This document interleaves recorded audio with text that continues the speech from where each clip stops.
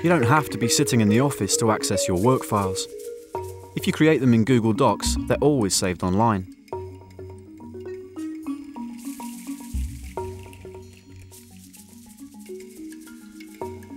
So when you log into Google Docs from any computer connected to the internet, you can open them up and get to work. Then, when you click Save and Close, you can pick up where you left off when you're back in the office. Música